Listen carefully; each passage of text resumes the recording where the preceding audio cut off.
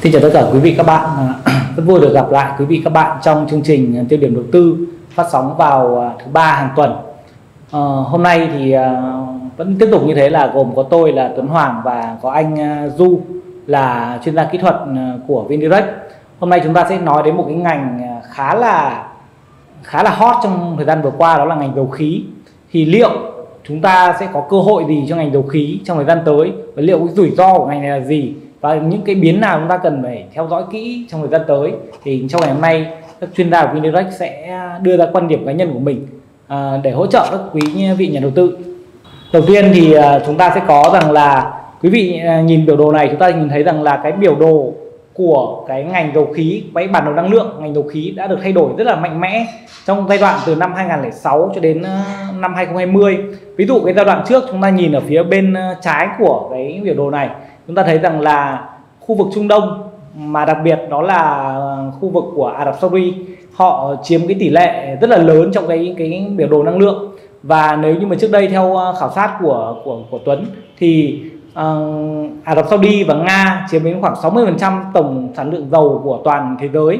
Tuy vậy cái câu chuyện bây giờ đang rất là khác, tức là đến bây giờ thì uh, cái bản đồ dầu khí đây quý vị nhìn cái bên bên phía bên phải của cái màn hình là ta nhìn thấy rằng là cái ờ, sản lượng sản xuất của Mỹ đã tăng từ ờ, 10% giai đoạn trước lên khoảng 17% lên khoảng 17% và chiếm đứng đứng đầu trên toàn thế giới. Và Ả Rập Saudi đang đứng xếp vị trí thứ hai.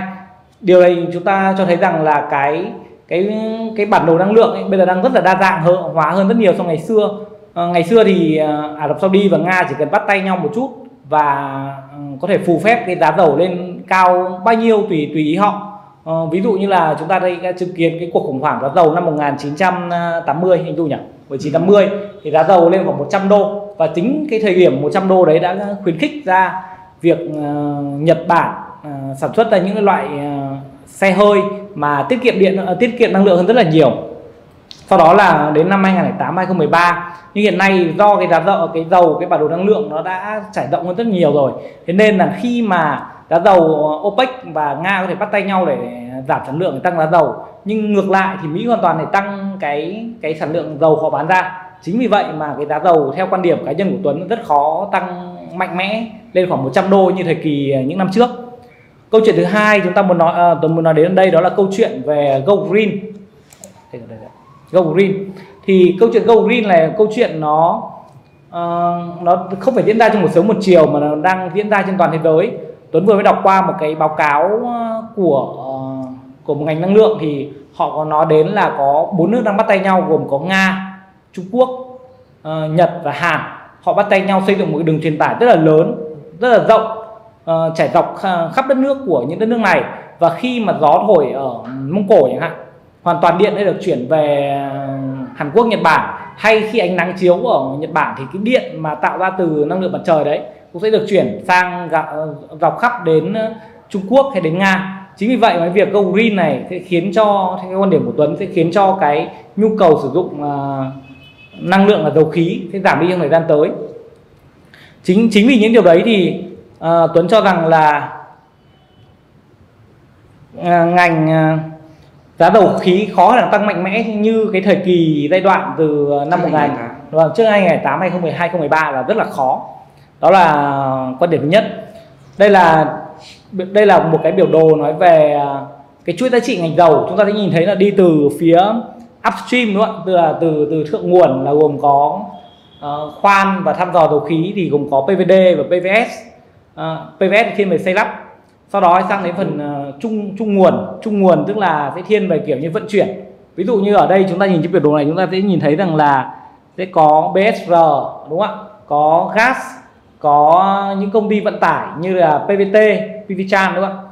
Rồi qua phần trung nguồn này ta sẽ sang cái phần mà hạ nguồn tức là những công ty mà phân phối như kiểu gọi là PLX là phân phối dầu dầu khí à, phân phối xăng dầu hay oil đúng không ạ? Và một số các công ty khác tiêu dùng ờ, dòng này như kiểu là điện và đạm đúng không ạ? Chúng ta nghe rất nhiều rồi.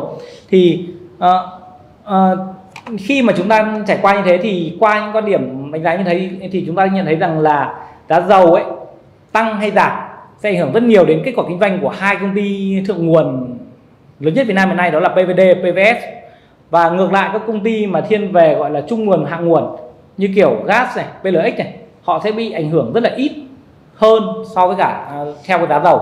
Tuy nhiên cái còn tùy thuộc vào điều kiện à, kinh doanh của từng công ty một, nhưng về cơ bản là như vậy.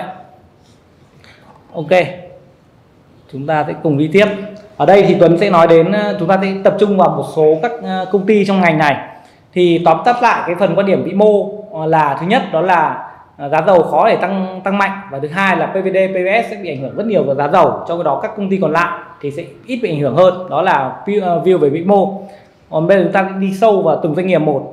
Ở đây thì à, một số doanh nghiệp mà đang rất là hot như ví dụ như gas là một doanh nghiệp khá là khá là hay theo quan điểm của Tuấn. Thứ nhất là cái lợi thế cạnh tranh của họ rất là mạnh. Họ được độc quyền vận chuyển uh, phân phối khí tự nhiên từ các mỏ tới tiêu thụ các khu công nghiệp. Và thứ hai là toàn bộ sản lượng sản xuất của họ được bao tiêu hết. Về triển vọng dài hạn của họ thì họ rất nhiều cái cái câu chuyện thời gian tới. Ví dụ như là uh, theo cái quy định điện mới của bộ chính trị thì ờ, chúng ta biết rằng câu chuyện rằng là đợt vừa rồi ờ, cái uh, chiến tranh thương mại khiến cho Việt Nam mình phải nhập khẩu dầu nhiều hơn. Chính vì vậy mà vừa rồi uh, Việt Nam mình đã phải nhập khẩu khá là nhiều sản phẩm từ Mỹ thì trong đó có dầu. Thì theo cái hướng đấy thì à, điện khí sẽ trở thành một trong hai trụ cột năng lượng của Việt Nam. Hiện tại đâu đó khoảng 10, 10 15 hay 17 phần trăm thôi và tương lai nó sẽ đến khoảng 40 phần trăm. Chính vậy mà cái nhu cầu điện khí trong thời gian tới rất là lớn thì nhu cầu ờ, cái điện khí lớn thì tức là cái nhu cầu mà nhập khẩu khí đi qua gas sẽ, sẽ nhiều lên. Thứ hai đó là dự án Lô Môn B năm 2024 và cá vạch xanh năm 2025 sẽ là tiếp tục tăng trưởng cái cái cái lượng uh, sản lượng của gas. Và thứ ba nữa là uh, làn sóng đầu tư vào dự án điện khí LNG uh, nhập khẩu và gas được chỉ định là đầu mối nhập khẩu. Thì đó là cái triển vọng dài hạn của gas rất rất là tốt và điều gì sẽ khiến cho gas tăng giá trong ngắn hạn? Đúng không ạ? Thì chúng ta nhìn thấy rằng là thứ nhất là chúng ta sẽ có giá dầu có thể tăng này đúng không ạ? Rồi thứ hai nữa là PVN thoái vốn. PVN đã câu chuyện thoái vốn gas bắt đầu từ năm 2018 rồi nhưng mà hiện tại vẫn chưa thoái vốn. Thì câu chuyện này vẫn là câu chuyện bỏ ngỏ. Và nếu như câu chuyện này xảy ra thì hoàn toàn giá giá cổ phiếu gas có thể tăng một tức là một chập rất là lớn rất là mạnh. À, thì PVN có ý kiến để thoái vốn của họ từ 95% về còn 65% thứ ba là xuất cổ tức của gas rất là đều đâu đó khoảng 4,4% và điều này sẽ hạn chế được cái rủi ro giảm giá của gas. Về à, định giá thì năm tới này thì à, gas sẽ tăng đạt lợi nhuận đâu đó khoảng 11.000 đến 11.500 tỷ và tăng trưởng là khoảng 30% bởi vì cái nền thấp của năm 2020 à, ờ, như vậy à, cái PE forward PE mà bình quân của gas hàng năm nó đâu khoảng 20 21 lần. Chính vì giá mục tiêu của gas đâu đó khoảng từ 115 đến 121 nghìn. Và nếu như tính theo giá đóng cửa hiện tại của gas đâu khoảng 90 nghìn thì thì cái cái upside còn rất là nhiều đúng không ạ? Tức là ừ, quan điểm của Tuấn rằng là kể trong ngắn hạn là khá là ok. Và trong dài hạn hơn thì cũng có rất nhiều cái câu chuyện để kể. 30%. vâng 25 30 phần trăm. Cổ phiếu thứ hai ờ, tôi muốn nói đến đây đó là cổ phiếu PLX thì PLX uh, có một cái lợi thế cạnh tranh khá là mạnh. Họ có hệ thống phân phối rộng khắp cả nước uh, và chiếm 50% thị trường phân phối xăng dầu. Số lượng cửa hàng trực thuộc họ rất là cao uh, 2.400 trên 5.000 đất thì của họ vị trí lâu đời và đắc địa. Chính vì cái lợi thế cạnh tranh họ rất là mạnh này nên gần như là họ có hiệu ứng hoàng tuyết lăn hoàng tuyết lăn tức là nào? Tức là họ tiếp tục tăng trưởng mà chỉ cần bỏ ra một chút chút chi, phí. chi phí thôi thì họ đã tăng trưởng mạnh hơn rất nhiều so với những công ty khác đó. Thì về câu chuyện dài hạn thì chúng ta nhìn thấy rằng là tỷ lệ sở hữu ô tô trên đầu người Việt Nam vẫn đang rất là thấp. Và khi mà tỷ lệ sở hữu này tăng lên thì cái nhu cầu tiêu thụ xăng dầu cũng sẽ tăng lên. Uh, và tiêu, tiêu thụ ngành này đâu đó khoảng 5,5% một năm theo uh, số liệu của Bộ Công Thương. Tăng trưởng. Vâng tăng trưởng tăng trưởng uh, tiêu thụ và điều gì sẽ khiến cổ phiếu này tăng hoặc giảm giá thì cái lợi nhuận uh, năm 2021 này sẽ tăng khoảng 5 đến 4 đến 5 lần mà đặc biệt là trong quý 1 2021 bởi vì năm ngoái họ bị bị hit rất là mạnh trong quý 1 khi mà lợi nhuận họ bị âm 1.800 tỷ. Do tồn kho đúng vâng đúng do tồn kho. Thì năm nay thì cái giá xăng mà đang tăng như ví dụ lên được khoảng 62 đô so với cả kỳ trước khoảng 40 đô thì họ sẽ được lại được ăn lại cái phần mà tồn kho đấy. Họ sẽ được tăng tăng lợi nhuận qua phần đấy. Và thứ ba nữa là cổ tức của họ rất là đều 3.000 một năm và chính vì vậy cái suất cổ tức đâu đó khoảng 5,3 phần trăm này sẽ làm giảm cái rủi ro giảm giá của cổ phiếu. Và sự ổn định hơn trong kết quả kinh doanh khi mà theo nghị định mới của chính phủ rằng là sẽ uh, giảm cái chu cái cái ví dụ ngày xưa để 15 ngày mới điều chỉnh xăng xăng bây giờ xuống 10 ngày. Chính vì vậy mà họ sẽ gần với giá xăng dầu thế giới hơn. Và thứ hai nữa là cái ngày tồn kho của họ đâu đó chỉ còn khoảng uh, 20 ngày. Đó thì họ sẽ giảm cái tác động của của rủi ro vâng thế thì ờ, định giá của họ thì năm nay lợi nhuận đâu đó khoảng à, 3.600 đến 4.000 tỷ. Nhưng mà cái PE của họ ờ, forward, nếu như bình thường PE của ngành này đâu khoảng 20 lần, thì giá mục tiêu họ khoảng từ 58 đến 64 nghìn. Hiện tại PLX thì giá đâu đó khoảng 56 tức là cái cái upside theo quan điểm cá nhân của Tuấn thì không còn nhiều không còn quá hấp dẫn rồi một cổ phiếu nữa là cổ phiếu khá là đáng chú ý bởi vì rất nhiều nhà đầu tư để ý đến dòng ờ, cổ phiếu mà biến động theo dòng dầu khí này thì có PVD và PVS thì theo quan điểm của Tuấn là PVD là một công ty khá là rủi ro vì vì tài sản họ không không quá tốt. Nhưng mà PVS thì ờ, tốt hơn rất nhiều. Uh, thì PVS là một công ty đồng ngành trong cái lĩnh vực uh, xây lắp này và có vâng dịch vụ dầu khí. Và PVN là một cổ đông lớn chính vậy cái mảng việc của PVN sẽ được dành cho PVS rất là nhiều. Câu chuyện dài hạn thì PVS sẽ khai thác uh, mỏ khí uh, lô B và cá voi xanh thì chính vì hai mỏ khí này khi khai thác thì sẽ đem lại công việc đảm bảo công việc dài hạn cho PVS và Việt Nam tăng trưởng uh, nhập khẩu ờ, LNG và PVS là nhà thầu xây dựng cái kho chứa thì đấy là cũng một cái để cho họ có công việc liên tục. Uh, điều gì làm cho cổ phiếu tăng hay giảm giá thì cổ phiếu này là cổ phiếu thuộc dòng thượng nguồn. Thế nên nếu nhà đầu tư nào có thể tự tin rằng giá dầu sẽ tăng thì nhà đầu tư đó nên có thể đầu tư vào PVS và một điểm nữa đáng khá đáng lưu ý là giá trị net quick net quick là, tức là chúng ta lấy toàn bộ cái tiền tiền mặt của công ty này trừ đi khoản nợ thì họ đâu đó khoảng 21 nghìn. Tức là giống như bạn mua một cái cái ví ấy, mà trong cái ví đấy có sẵn 21 nghìn rồi mà giá cổ phiếu bây giờ giả sử giá cổ phiếu mà nhỏ hơn 20 thì nhỏ hơn 21 thì rõ ràng là là có lãi đúng không ạ? Thì cái giá trị net quick này là 21 nghìn đó tuy vậy thì cái định giá của họ là cái ROE của họ rất là thấp 6% tức là cái giá trị công ty tăng trưởng hàng năm đâu đó chỉ khoảng 6% thôi. Thế nên rằng là um, um, cổ phiếu này không phải một cổ phiếu quá hấp dẫn mà theo quan điểm cá nhân của riêng Tuấn là nếu như để đối với nhà, nhà đầu tư an toàn ấy thì nên mua khi một chiết khấu đủ sâu so với giá 21 nghìn. Giả sử chúng ta kỳ vọng lợi nhuận khoảng 30 phần trăm thế thì 21 mà trừ đi khoảng 6 đúng không? là khoảng 10 14 15 nghìn. Thì lúc đó chúng ta hãy mua thì nó sẽ sẽ an toàn hơn còn nếu mà trong ờ, nhà đầu tư mà muốn thực sự an toàn thì có thể mua gas còn nhà đầu tư mà muốn mạo hiểm hơn thì có thể đầu tư PVS này thì đấy là quan điểm một chút quan điểm của Tuấn về ờ, về ngành dầu khí và các cổ phiếu trong ngành và tiếp theo sẽ xin mời anh Du ờ, trình bày đến quý vị nhà đầu tư về uh, kỹ thuật À, chào quý vị nhà đầu tư. À, hôm nay Du sẽ trình bày với các quý vị về cái góc nhìn kỹ thuật các cổ phiếu dầu khí.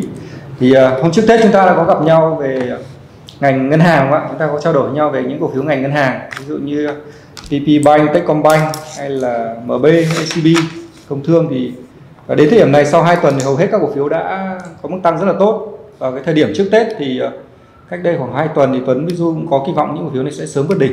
Và hiện tại những cổ phiếu này cũng đã vượt đỉnh rồi. Thì rõ ràng nếu mà so với ngành ngân hàng thì ngành dầu khí về vốn hóa hiện tại thua xa ngành ngân hàng. Mức độ thanh khoản thì cũng thua tại vì Ờ, trước đây ngành dầu khí chiếm vốn hóa lớn rất lớn trên thị trường ngay cả trong nền kinh tế. Nhưng trong ờ, khoảng 10 năm trở lại đây ngành ngân hàng phát triển ờ, ngày một mạnh hơn. Trong cái đấy thì ngành dầu khí bị suy giảm do cái mức độ sử dụng giá dầu sử dụng dầu nó cũng thấp đi. Và thứ hai là do giá dầu giảm nữa, nên ra nó thu hẹp cái quy mô của của toàn ngành. Tuy nhiên nếu mà nhìn ngành dầu khí hiện tại thì những cái cổ phiếu lớn thì vẫn tập trung vào gas, rồi uh, PVS, uh, PLX hay là BSR chẳng hạn, uh, lọc uh, dầu. Thì uh, đầu ngành bao giờ du quan tâm đến gas? Tại vì gas là cổ phiếu mà uh, có cái vốn hóa lớn nhất. Và thứ hai là cái mức độ kinh doanh nó ổn định nhất. Ngay cả trong những năm mà giá dầu xuống 20 đến 30 đô thì gas vẫn có lãi. Và cái mức cổ tức bằng tiền mặt rất là đều. Thì thường những cái tổ chức lớn khi đầu tư vào một thị trường người ta sẽ quan tâm đến cổ phiếu đầu ngành nhất là gas. Đặc biệt là gas có cái kỳ vọng về thoái vốn thì nếu những thông tin thoái vốn của gas mà được thông qua trong thời gian tới thì cái cơ hội bứt phá của gas sẽ sẽ rất là lớn. Nhưng mà chúng ta rõ ràng chúng ta không biết là khi nào cái thông tin ấy được thông qua mặc dù nó đã bắt đầu từ 2017 2018 rồi. À, gas nhìn theo góc độ phân tích kỹ thuật thì uh, nó vẫn trong một cái xu hướng giảm tính từ 2018 đến giờ. Tức là giá à, các đỉnh sau hơn đỉnh trước. Nhưng nếu mà nhìn theo theo giá dầu thì rõ ràng gap nó tách hẳn so với diễn biến của giá dầu. Chúng ta nhớ rằng 2014 là đỉnh của của giá dầu và từ đấy đến giờ giá dầu chưa lần nào vượt được cái đỉnh giá từ 2013 2014 nhưng ngược lại gas thì đã có một lần vượt cái đỉnh giá này, tức là 2018 tức là khi giá dầu chưa gần vượt đỉnh của 2014 thì thì gas nó đã vượt rồi. Thì rõ ràng rằng cái cơ hội với gas nếu mà giá dầu tiếp tục tăng lên, chẳng hạn như 70 80 đô thì cái cơ hội vượt đỉnh của gas hoàn toàn có thể xảy ra. Nó giống như là 2018 so với 2014 mặc dù giá dầu vẫn ở dưới đỉnh so với với lúc mà giá dầu cao nhất là hơn 130 140 đô nếu mà nhìn theo cái kênh giá trung hạn ấy, chúng ta thấy là gas thì ờ, chỉ cần vượt cái mức giá 94 95 tức là cái mức đỉnh của tháng 1 vừa qua thì rõ ràng nó sẽ vượt cái kênh giá giảm tính từ 2018 đến giờ. Và lúc đấy cái cơ hội ờ, tăng giá sẽ mở ra. Vì nếu vượt qua mức giá 95.000 thì gas lúc đó triển vọng sẽ lên 100 có hai mức. Thứ nhất là 105.000 thứ hai là mức 120.000 tức là mức đỉnh của 2018 còn cái cơ hội có thể vượt đỉnh hay không thì, thì quá sớm để nói. Bây giờ thì vì à, khi lên được à, vùng 110 120 thì chúng ta xem xét cái xung lực của của gas thời gian đấy. Còn ngắn hạn hiện tại thì với cá nhân du nếu mà gas đang dao động trong cái kênh giá hiện tại thì du chưa mua tại vì nó chưa vượt được cái kháng cự vùng 94 95 nhưng nếu vượt cái kháng cự này thì cái triển vọng lên 120 000 20 000 sẽ mở ra. Còn giả sử như trong năm 2021 hoặc 2022 mà có thêm những cái chất xúc tác về thông tin thuế vốn thì rõ ràng cái cơ hội của gas nó sẽ rộng mở hơn còn nếu mà không có có những thông tin đấy thì rõ ràng cái kỳ vọng là cho năm 2021 tạm thời chúng ta, kỳ vọng tối đa là 120 từ cái mức giá khoảng 94 95 ờ, thì kỳ vọng đâu đó khoảng 25 đến 30 phần trăm thì cũng là mức cũng tương đối hấp dẫn nếu mà cổ phiếu này đạt đạt vào cái form để chúng ta mua. Hiện tại thì nó chưa đạt được cái kỳ vọng đấy và nó vẫn đang ở dưới đỉnh. Và khi ở dưới đỉnh thì vẫn có rủi ro hai đỉnh. Ờ, cổ phiếu thứ hai chúng ta quan tâm đến là PVS thì PVS rõ ràng thì đang mạnh hơn trước đây thì thường gas sẽ là cổ phiếu dẫn dắt ngành dầu khí nhưng nhưng đợt này thì ờ, PVS này lại là cổ phiếu đang tăng tốt hơn. Tại vì ờ, có thể là do cái mức độ an toàn của gas nó, của PVS nó cao hơn khi mà cái cái tài sản của nó và cái phần tiền mặt nó rất là lớn. Vì bản thân cổ phiếu đấy khi trừ đi các khoản chi phí các khoản nợ thì nó đã xứng đáng 20 21 nghìn rồi. Thì hiện tại giá cổ phiếu đang ở mức khoảng à, 23 nghìn. Phiên giao dịch hôm nay thì nó đang tăng rất là tốt nhưng mà chưa kết thúc phiên. Ờ, rõ ràng nếu mà nhìn theo kênh giá thì PVS đã có một cái cú breakout khỏi cái kênh giá giảm trung hạn, tức là giống như gas vượt giá 94 95 ấy. Thì cái triển vọng của PVS trong ngắn hạn thì sẽ hướng đến có hai mốc. Nhất là mốc 26.000 đồng, là mốc đỉnh của 2018 và mốc cao hơn là mốc 31 32.000 đồng, tức là mốc đỉnh của 2014 nhưng nếu mà nhìn rộng hơn chúng ta thấy là cái cái cái trend của GAP thì đẹp hơn, tại vì 2018 GAP đã, đã vượt đỉnh của 2014 rồi. Và bây giờ nó vẫn trong một cái xu hướng dài hạn tích cực tại vì các cái đáy sau cao hơn đáy trước rất là nhiều và đỉnh sau vẫn cao hơn đỉnh trước. Thì những cái triển vọng của của gas nó sẽ sẽ tích cực hơn PVS mặc dù trong ngắn hạn thì PVS đang đẹp hơn và đang đang đem lại cái khả năng sinh lợi ngắn hạn tốt hơn. Thì ví dụ như trên đinh thuần về mặt kỹ thuật thì với cổ phiếu PVS này thì cái ngưỡng 21 2.5 đến 22 đang trở thành ngưỡng hỗ trợ rồi. Thì nếu như phiên hôm nay cổ phiếu này ở đóng ở trên mức giá khoảng 23.000 trở lên thì khi điều chỉnh lại ngưỡng 21.5 đến 22 thì hoàn toàn có thể là cơ hội để mạo hiểm mua vào với cái kỳ vọng thứ nhất là lên 26.000 và cái ờ, mốc thứ hai cao hơn là 31 32.000 theo góc độ kỹ thuật trong trong 3 đến 4 tháng tới. Cổ phiếu thứ ba nó quan tâm là PLX thì rõ ràng là PLX thì, cái mức độ ờ, tăng giá nó không mạnh và giảm giá nó cũng không mạnh như PVS hay là PVD hay là GAP. Tại vì nó mang tính ờ, cổ phiếu nhập về và bán lẻ xăng dầu thôi nó không trực tiếp sản xuất. À, tính từ ờ, đầu 2020 đến nay à, tính từ cái đợt giảm của 2020 nay thì nó cũng hồi phục khoảng đâu đó khoảng gần 100% tức là khoảng 80% từ mức giá 35.000 lên mức giá 60.000 đồng cổ phiếu. Cái triển vọng ngắn hạn của của PLX nhìn nó cũng gần tương tự như GAT nếu mà nhìn cái đồ thị từ 2018 giờ nó cũng khá giống với GAT tức là nếu mà cổ phiếu này nó vượt được cái đỉnh ngắn hạn của đợt tháng 1 vừa qua ở ngưỡng 58 59 thì cổ phiếu nó sẽ có khả năng hướng về ngưỡng quanh 64 65 là cái ngưỡng đỉnh giá của 2018 2019 2018 và nếu mà giả định trong trường hợp lạc quan nhất thì nó có thể lên lại cái vùng đỉnh cũ của 2018 tức là mức giá khoảng 80 thì nó cũng tương đối tương đối khó. Nên cái kịch bản lạc quan nhất lên 80 thì mình nghĩ là xác suất xảy ra tương đối thấp cái kịch bản mà nếu mà ngành dầu khí thuận lợi và cổ phiếu này tăng giá thì có lẽ cái ngưỡng 64 65 có, có vẻ hợp lý hơn. Những mức đỉnh của 2018 2019 À, P lấy thì đang có những cái thông tin liên quan đến ờ, bán gửi quỹ. Thì thường khi bán gửi quỹ cổ phiếu này hay tăng giá nhưng mà rõ ràng nó mức giá tăng nó không mạnh. Gần như người ta sẽ ấn định cái mức giá nó đấy để hai bên người ta mua bán với nhau. Nó cũng có thể ảnh hưởng đến cái đà tăng cổ phiếu.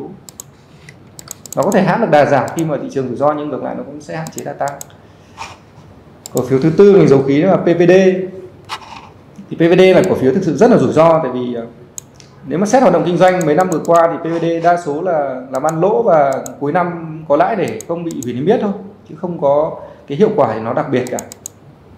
Và nếu chúng ta nhìn cái đồ thị kỹ thuật của PVD từ 2014 giờ nó rất là xấu, thì khi cổ phiếu này nó giảm từ mức giá hơn 70.000 về mức giá có lúc ờ, dưới 10.000 và các cái đợt hồi phục trong thời gian từ 2016 đến đến nay tức là trong khoảng 5 năm qua thì thường cổ phiếu này hay hồi phục từ ngưỡng giá khoảng một uh, một x tức là giá 10 đến 10 15 và lên ngưỡng cao nhất là khoảng 28 đến 30 là, là quay đầu. Ngắn hạn thì nếu mà cổ phiếu nên vượt qua cái mức đỉnh 24.000 cổ phiếu ấy, thì rõ ràng cái cơ hội trong 2021 nó sẽ rộng mở hơn một chút. Nhưng mà nếu mà nhìn nhìn rộng hơn từ 2016 đến giờ thì cái mức cản 28 30 nghìn nó vẫn là mức cản rất là lớn nên nếu mà cổ phiếu này khi mà nó chưa vượt qua cái mức cản 28 30 nghìn thì rõ ràng đây cũng giống như các cái đợt hồi phục trước thôi nó chưa có gì đặc biệt. Nhưng nếu vượt qua cái mức 30 nghìn đồng cổ phiếu ấy, rõ ràng là đây sẽ một đợt, đợt, tăng, đợt sóng tăng nó sẽ mạnh mẽ hơn. Còn nếu như chúng ta mua ở cái vùng giá 24 nghìn hiện tại đến cái mức 30 nghìn 28 30 nghìn thì nó chỉ khoảng 4 năm giá thôi. Tức là cái kỳ vọng nó chỉ tối đa khoảng 18 đến 20 phần trăm. Tối đa thì nó không phải là cái gì quá hấp dẫn. Nếu mà bản thân du thì thì với một cái cổ phiếu mà nó rủi ro hơn những cổ phiếu như GAT với lại PVS mà những cái, cái cơ hội chúng ta có thể kiếm được 25 đến 30 phần trăm thì rõ ràng sẽ không dại gì chọn cái cơ hội nó rủi ro hơn mà mà cái biên lợi nhuận kỳ vọng chỉ có 18 20 phần trăm. Trong đấy những cổ phiếu như GAT, PVS thì nó sẽ đảm bảo yếu tố là thanh khoản và cái độ ổn định của nó khi tăng giá hơn. Tại vì cổ phiếu ngành dầu khí ngoài cái việc mà bị tác động bởi thị trường chung nó còn bị tác động bởi cái cái giá dầu trên thị trường thế giới. Và giá dầu thì nó nó bị tác động rất nhiều thứ, cả kinh tế, cung cầu lẫn ờ, yếu tố chính trị trong đó rất khó để phân tích giá dầu, tại vì ngay cả các ngân hàng lớn khi dự báo giá dầu người ta cũng cũng thường sai, tại vì nó còn liên quan đến yếu tố chính trị giữa các quốc gia đấy nên bản thân các cổ phiếu dầu khí, khi giao dịch mọi người lưu ý là nó sẽ mang cho mình hai cái rủi ro. Ngoài rủi ro thị trường, nó sẽ là một cái rủi ro về yếu tố giá dầu đầu vào nữa. Nó giống như chúng ta bắn một cái cái mục tiêu mà nó di động, nó rất khó để bắn ngược lại, để chúng ta mua những cổ phiếu ngành ngân hàng hay ngành bất động sản hay ngành tiêu dùng là những cái doanh nghiệp mà nó đang hoạt động ổn định, tăng trưởng và chúng ta có thể dự báo được nó rồi, thì nó sẽ dễ để bắn một mục tiêu đấy hơn. Thì ờ, cái khẩu vị của ngành dầu khí nó sẽ phù hợp với những khách hàng mà ưa rủi ro, chấp nhận mức độ rủi ro cao hơn và nhanh nhạy hơn khi mà phải quan sát cả giá dầu của thị trường quốc tế. Hiện tại nếu mà tính từ đầu năm 2021 thì giá dầu trên thị trường chứng khoán quốc tế đã tăng khoảng 25 đến 30 phần trăm. Là mức tăng tương đối mạnh là do thiếu hụt nguồn cung ở, ở Mỹ. Và chúng ta biết là do trận bão ở Texas. Thì rõ ràng rằng nếu mà chúng ta nhìn chúng ta thấy rằng cái cái cốt lõi của việc tăng giá của giá dầu là do thiếu hụt nguồn cung trong ngắn hạn thôi chứ không phải là cái cái nguyên nhân do cầu của nền kinh tế nó mạnh lên và nó thúc đẩy người ta tiêu dùng nhiều. Ngoài ra còn có những cái yếu tố cản trở của việc tăng giá dầu đấy là xe điện đúng không ạ? Những cái ngành ờ, công nghiệp xe ô tô điện người ta đang ngày một mở rộng ở Trung Quốc ở Mỹ và ngay ở Việt Nam VinFast cũng cũng đã bắt tay vào rồi thì rõ ràng rằng cái cái kỳ vọng về giá dầu quay lại những cái đỉnh giá như 2008 2014 hay là những, những mức giá cao hơn nữa thực sự là với quan điểm của du thì rất là khó. Chẳng qua rằng ngành dầu khí trong ngắn hạn nó có câu chuyện nó có cái cớ để chúng ta chúng ta đầu cơ thôi. Thì chúng ta tham gia ở góc độ kỹ thuật và nên phân bổ tỷ trọng uh, danh mục đầu tư của mình khoảng 20 đến tối đa là 25% cho cho ngành này thôi. Không nên tham gia nhiều tại vì nó là một ngành rất rủi ro biến động rất thất thường. Và Ờ, nó chịu hai cái rủi ro cùng một lúc. Nhưng ngược lại nếu thị trường thuận lợi nó sẽ được hai cái cái thuận lợi tức là giá dầu tăng và thị trường tăng. Thì đấy là những cái quan điểm của du về ngành dầu khí. Còn nếu như các bạn mà không có cái chuyên môn phân tích kỹ thuật thì uh, quý vị có thể tham uh, tham khảo trên cái ý tưởng giao dịch của VNDAX ở trên bảng giá. Khi những cổ phiếu này đạt các cái tiêu chí về về mẫu hình kỹ thuật và là các cái triết lý mà mà VNDAX đưa ra thì du sẽ đưa lên đấy để mọi người tham khảo để mọi người ra quyết định còn nhắc lại là mọi người nên tham gia với tỷ, tỷ trọng rất là nhỏ. Và thứ hai là phải xác định đây là ngành ngành rất rủi ro so với ngành ngân hàng hay là bất động sản hay là ngành tiêu dùng ngành công nghệ thì nó sẽ an toàn hơn. Xin hết. Vâng thì à, tôi xin tổng hợp tổng kết lại về cái à, ngành này. Thì à, về góc độ vĩ mô thì Tuấn và anh Du cùng quan điểm rằng là rất khó để dự đoán giá dầu. Và giá dầu để tăng được cái lên 100 đô như ngày xưa ấy thì thực sự là một cái kịch bản rất là khó xảy ra à, về các cổ phiếu thì à, anh Du đánh anh Du và Tuấn cùng đánh giá cao có PL à, ờ, có có gas. À, vì gas thì theo quan điểm anh Du là có thể à, nếu như mà vượt lên 95 95 nghìn là một cơ hội mới mở ra và có thể đạt được 120 nghìn. Còn ở góc độ cơ bản thì Tuấn cho rằng là gas có rất nhiều câu chuyện trong cả ngắn hạn và trong dài hạn. Thì gas là một cổ phiếu rất đáng để theo dõi. À, các cổ phiếu thượng nguồn như kiểu PVS, PVD thì uh, đều cùng quan điểm là sẽ rủi ro hơn vì nó ảnh hưởng nhiều bởi giá dầu và đặc biệt là PVD cực kỳ rủi ro. Còn PVS thì theo quan điểm anh Du đó là nếu như cổ phiếu này mà vượt uh, Ờ, quay tức là quay lại 21 năm đúng không? Quay lại 21 năm thì ờ, nó là cơ hội để mua vào và kỳ vọng ở mức giá khoảng 26k 26 nghìn cho đến 26 nghìn Ờ, trong cái kịch bản tốt. Và đối với cả cổ phiếu PLX thì ờ, Tuấn và anh Du cùng quan điểm rằng là cổ phiếu này là một cổ phiếu gọi là bằng bằng đi chậm chậm. Ờ, Ờ, không có gì đồ, có đột biến cả. Và nếu ờ, quý vị có câu hỏi gì quý vị có thể comment thêm vào trong ờ, clip của chúng tôi. Và đồng thời quý vị hãy theo dõi chúng tôi ở trên trang Facebook các buổi livestream vào ngày trưa thứ hai và ngày trưa thứ năm. Trưa thứ hai là về la bàn đầu tư là những tiêu điểm độ, những những thông tin quan trọng nhất trong tuần. Và ngày thứ năm là nói về một cổ phiếu bất kỳ mà quý vị yêu thích thì quý vị có thể comment vào đó. Ờ, xin chào và hẹn gặp lại quý vị nhà đầu tư trong ờ, buổi tiếp theo. Tôi là Tuấn Hoàng anh đây là anh Du Xin chào. xin chào mọi người